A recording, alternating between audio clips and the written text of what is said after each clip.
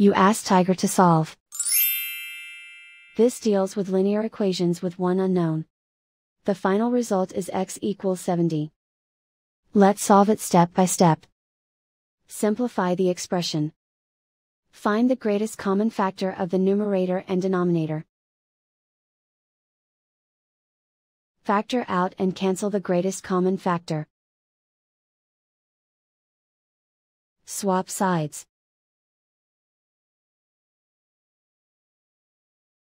Isolate the x. Multiply both sides by 100.